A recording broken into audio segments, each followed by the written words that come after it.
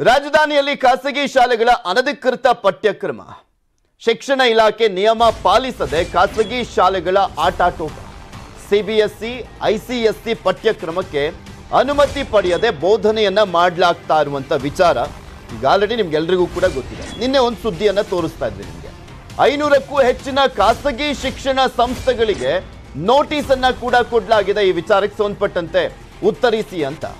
ತೆಗೆದುಕೊಂಡಿರುವಂಥದ್ದೇ ಒಂದು ಕನುಮತಿ. ಮಾಡ್ತಾ ಇರುವಂತ ಪಾಠನೆ ಮತ್ತೊಂದು. ಸೊ ಹೀಗಾಗಿ ನೋಟಿಸ್ ಅನ್ನ ಕೊಡ್ಲಾಯಿತು ನಿಯಮ ಪಾಲಿಸದ ಶಾಲೆಗಳ ವಿರುದ್ಧ ಕ್ರಿಮಿನಲ್ ಕೇಸ್ಗೆ ತೀರ್ಮಾನವನ್ನು ಮಾಡಲಾಗಿದೆ. ರೂಲ್ಸ್ ಬ್ರೇಕ್ ಶಾಲೆಗಳ ವಿರುದ್ಧ ಕ್ರಮಕ್ಕೆ ಶಿಕ್ಷಣ ಇಲಾಖೆ ಸೂಚನೆಯನ್ನ ಕೊಟ್ಟಿದೆ. ಈಗಾಗಲೇ ನಾಗರಬಾವಿಯ ಆರ್ಕಿಡ್ ಶಾಲೆ ಮೇಲೆ ಕೇಸನ್ನ ದಾಖಲು ಮಾಡಲಾಗಿದೆ, ಎಫ್ಐಆರ್ ಆಗಿದೆ. ಅಲ್ಲಿ ಡಿ ಡಿ ಪಿ ಐ ಹೋಗಿದ್ರು, ಅದಾದ್ಮೇಲೆ ಬಿ ಹೋಗ್ಬಿಟ್ಟು ಇದೇ ವಿಚಾರಕ್ಕೆ ಸಂಬಂಧಪಟ್ಟಂತೆ ಪೊಲೀಸ್ ಠಾಣೆಯಲ್ಲಿ ದೂರನ್ನ ಕೊಟ್ಟಿದ್ರು, ಎಫ್ಐಆರ್ ಆಗಿತ್ತು. ಕೊರೋನಾ ಕಾರಣಕ್ಕೆ ನಮ್ಮ ಶಾಲೆಗಳಿಗೆ ಕೇಂದ್ರ ಪಠ್ಯದ ಅನುಮತಿ ಸಿಕ್ಕಿಲ್ಲ. ನಮ್ಮ ಸಂಸ್ಥೆಯ ಉಳಿದ ಶಾಲೆಗಳಿಗೆ ಸಿಬಿಎಸ್ಇ ಪಠ್ಯಕ್ರಮ ಸಿಗುವಂತ ವಿಶ್ವಾಸವಿದೆ. ಆರ್ಕಿಡ್ ಶಾಲೆಯ ಪ್ರತಿನಿಧಿ ಲೀನಾ ಪಾಸ್ಕಲ್ ಪ್ರತಿಕ್ರಿಯೆಯನ್ನ ಕೊಟ್ಟಿದ್ದಾರೆ. ಲೆಕ್ಕ ಹಾಕಲು ಇನ್ನು ಅನುಮತಿನೇ ಸಿಕ್ಕಿಲ್ಲ. ಸಿಗುತ್ತೆ ಅನ್ನುವಂತ ವಿಶ್ವಾಸ ಅಂತೆ. ಇನ್ನು ವಿಶ್ವಾಸದಲ್ಲಿರುವಂತ ಸಂದರ್ಭದಲ್ಲಿ ಸಿಬಿಎಸ್ಇ ಐಸಿಎಸ್ಸಿ ಸಿಲೆಬಸ್ ಅನ್ನ ಟೀಚ್ ಮಾಡ್ತಾ ಇದ್ದಾರೆ ಇವರು. ಅವಿದೆಯು ಹಲವು ಜನರ ಜೀವನದ ಮೇಲೆ ಪರಿಣಾಮವನ್ನು ಬೀರಿದೆ. ಇದರಿಂದಾಗಿ ಮಾನ್ಯತಾ ಪ್ರಕ್ರಿಯೆಯೂ ಕೂಡ ವಿಳಂಬವಾಗಿತ್ತು. ಸಿಬಿಎಸ್ಇ ಮಾನ್ಯತೆ ಪಡೆಯಲು ಅಗತ್ಯವಿರುವ ಎಲ್ಲ ಮೂಲ ಸೌಕರ್ಯ ಮತ್ತು ಶಿಕ್ಷಣ ಪದ್ಧತಿಯನ್ನು ಆರ್ಕಿಡ್ ಶಾಲೆ ಹೊಂದಿದೆ. ಆದ್ದರಿಂದ ಶೀಘ್ರದಲ್ಲೇ ಸಿಬಿಎಸ್ಇ ಮಾನ್ಯತೆ ಸಿಗುವ ಬಗ್ಗೆ ಸಂಪೂರ್ಣ ವಿಶ್ವಾಸವಿದೆ. ಪ್ಯಾಂಡಮಿಕ್ ಅವಧಿಯು ಹಲವು ಜನರ ಜೀವನದ ಮೇಲೆ ಪರಿಣಾಮವನ್ನು ಬೀರಿದೆ. ಇದರಿಂದಾಗಿ ಮಾನ್ಯತಾ ಪ್ರಕ್ರಿಯೆಯೂ ಕೂಡ ವಿಳಂಬವಾಗಿತ್ತು. ಸಿಬಿಎಸ್ಇ ಮಾನ್ಯತೆ ಪಡೆಯಲು ಅಗತ್ಯವಿರುವ ಎಲ್ಲ ಮೂಲ ಸೌಕರ್ಯ ಇದು ಏನ್ ಸರ್? ಸಮೂಹ ಸಂಸ್ಥೆಗಳು ಸರ್ ಆರ್ಕಿಡ್ ನಮ್ಮಲ್ಲಿ ಹನ್ನೊಂದು ಸ್ಕೂಲ್ ಇದೆ ನಮ್ಮ ಜಿಲ್ಲೆನಲ್ಲಿ. ಓಕೆ ಅದರಲ್ಲಿ ಐದು ಸ್ಕೂಲು ಅಫಿಲಿಯೇಷನ್ ತಗೊಂಡವ್ರೆ ಸೆಂಟ್ರಲ್ ಸಿಲೆಬಸ್ಗೆ ಓಕೆ. ಇನ್ನು ಆರು ಶಾಲೆ ಅಫಿಲಿಯೇಷನ್ ತಗೊಂಡಿಲ್ಲ. ಹ್ಮ್.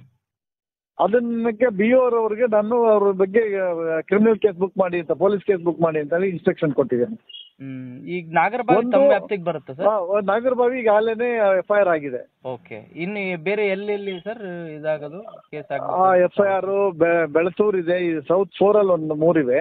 ಓಕೆ. ಆಮೇಲೆ ಇಲ್ಲಿ ಚಿಕ್ಕಪೇಟೆನಲ್ಲಿ ಒಂದಿದೆ. ಆರು ಇವೆ. ಆರಿವೆ. ಆರು ಅನಾಥರೈಸ್ ಆಗಿ ಕರಿಕಲಮ್ಮ ಮಾಡ್ತಾ ಇರೋಂಥದ್ದು ವರದಿಯಾಗಿದೆ ಓಕೆ. ಅವ್ರ ಮೇಲೆ ಕಮ್ಮಿ ಕ್ರಮ ತೆಗೆದುಕೊಳ್ಳಿ ಅಂತ ಹೇಳಿ ನಾನು ಇಟ್ಕೊಟ್ಟಿದ್ದೀನಿ ಡೈರೆಕ್ಷನ್ಸ್ ಕೊಟ್ಟಿದ್ದೀನಿ ಇದ್ರ ಬಗ್ಗೆ ಮತ್ತಷ್ಟು ಮಾಹಿತಿಯನ್ನು ನೀಡ್ತಾರೆ ನಮ್ಮ ಪ್ರತಿನಿಧಿ ಶರಣು ಹಂಪಿ. ನಮ್ಮ ಜೊತೆ ನೇರ ಸಂಪರ್ಕದಲ್ಲಿ ಜಾಯಿನ್ ಆಗ್ತಾ ಇದ್ದಾರೆ. ಶರಣು ಹಂಪಿ ರೂಲ್ಸ್ ಬ್ರೇಕ್ ಶಾಲೆಗಳ ವಿರುದ್ಧ ಕ್ರಮ ಕೈಗೊಳ್ಳಬೇಕು ಅಂತ ಶಿಕ್ಷಣ ಇಲಾಖೆ ಸೂಚನೆಯನ್ನ ಕೊಟ್ಟಿದೆಯಲ್ಲ ಯಾವ ಕ್ರಮ ಕೈಗೊಳ್ತಾರಂತೆ? ನಾ ನಾಗರಬಾವಿ ಆರ್ಕಿಡ್ ಶಾಲೆ ವಿರುದ್ಧ ಎಫ್ ಐ ಆರ್ ದಾಖಲಾಗಿದೆ. ಎಲ್ಲಿಗೆ ಬಂದಿದೆ ಆ ಪ್ರೋಸೆಸ್ ಏನ್ ಕ್ರಮ ಕೈಗೊಂಡಿದ್ದಾರಂತೆ? ಅಟ್ಲೀಸ್ಟ್ ಒಂದ್ ಶಾಲೆ ಮೇಲಾದ್ರೂ ಎಫ್ ಐ ಆರ್ ದಾಖಲಾಗಿದೆಯಲ್ಲ?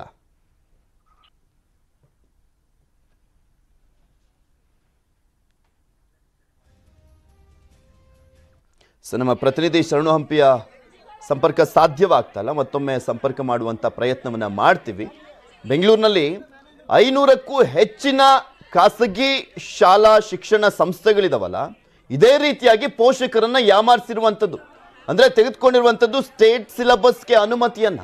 ಮಾಡ್ತಾ ಇರುವಂಥದ್ದು ಮಾತ್ರ C B S C I C S ಸಿಗೆ ಸೊ ಯಾವಾಗ ಪೋಷಕರು ಈ ವಿಚಾರಕ್ಕೆ ಸಂಬಂಧಪಟ್ಟಂತೆ ಧ್ವನಿ ಎತ್ತಿದ್ರು, ಮಾಧ್ಯಮಗಳಲ್ಲಿ ಈ ಸುದ್ದಿ ಪ್ರಸಾರ ಆಯಿತು.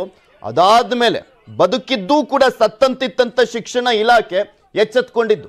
ಇದ್ರ ಬಗ್ಗೆ ಇನ್ನಷ್ಟು ಮಾಹಿತಿಯನ್ನು ನೀಡ್ತಾರೆ. ನಮ್ಮ ಪ್ರತಿನಿಧಿ ಶರಣು ಹಂಪಿ ಮತ್ತೊಮ್ಮೆ ಸಂಪರ್ಕದಲ್ಲಿ ಜಾಯ್ನ್ ಆಗ್ತಾ ಇದ್ದಾರೆ. ಶರಣು ಹಂಪಿ ಆಗ್ಲೇ ಪ್ರಶ್ನೆಯನ್ನ ಕೇಳಿದ್ದೆ ನೀವು ಕೂಡ ಮಾತನಾಡ್ತಾ ಇದ್ರಿ ಗೋಯಡ್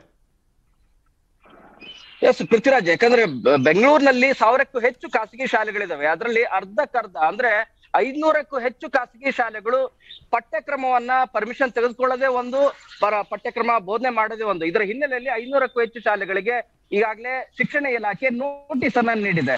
ಎರಡನೇ ಹಂತವಾಗಿ ಯಾರು ನಿಯಮವನ್ನ ಪಾಲನೆ ಮಾಡೋದಿಲ್ಲೋ ಬಹಳ ಸ್ಪಷ್ಟವಾಗಿ ಈಗಾಗಲೇ ವರದಿಯನ್ನು ಕೂಡ ತರಿಸ್ಕೊಂಡಿದೆ ಶಿಕ್ಷಣ ಇಲಾಖೆ.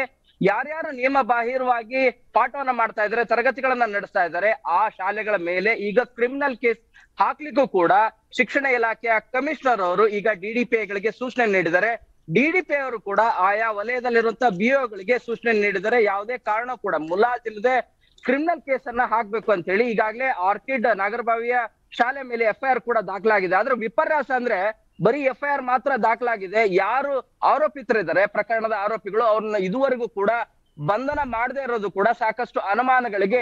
ಮಾಡಿಕೊಡ್ತಾ ಇದೆ. ಯಾಕಂದ್ರೆ ಪ್ರಭಾವಿತರು ಇರೋದು ಅವರು ಬಂಧನ ಆಗದೆ ಇದ್ರೆ ಏನಾಗುತ್ತೆ ಅನ್ನುವಂತ ಪ್ರಶ್ನೆಯನ್ನ ಪೋಷಕರ ಸಮನ್ವಯ ಸಮಿತಿ ಸದಸ್ಯರು ಕೂಡ ಪ್ರಶ್ನೆ ಮಾಡ್ತಾ ಇದ್ದಾರೆ ಈ ರೀತಿಯಾಗಿ ಖಾಸಗಿ ಶಾಲೆಗಳು ಯಾರು ಪಠ್ಯಕ್ರಮವನ್ನ ಸಿಬಿಎಸ್ಇ ಮತ್ತು ಐಸಿಐಸಿ ಮಾಡ್ತಾ ಇದ್ದಾರೆ ಮಾನ್ಯತೆ ಇಲ್ಲದೆ ಅಂದ್ರೆ ಪರವಾನಗಿ ಇಲ್ಲದೆ ಆ ಶಾಲೆಗಳ ಮೇಲೆ ಕ್ರಿಮಿನಲ್ ಕೇಸ್ ಆಗ್ತಿವೆ ಅಂತ ಹೇಳ್ತಾ ಇದ್ದಾರೆ ಅದು ಎಷ್ಟರ ಮಟ್ಟಿಗೆ ಪಾಲನೆ ಆಗುತ್ತೆ ಅನ್ನೋದನ್ನ ಆಗ್ತಿವಿ ನೋಟಿಸ್. ಕೊಡ್ತೀವಿ ಅಂತೆಲ್ಲ ಹೇಳುವಂತದ್ದಕ್ಕೆಲ್ಲ ಬಗ್ಗುವಂತ ಖಾಸಗಿ ಶಿಕ್ಷಣ ಸಂಸ್ಥೆ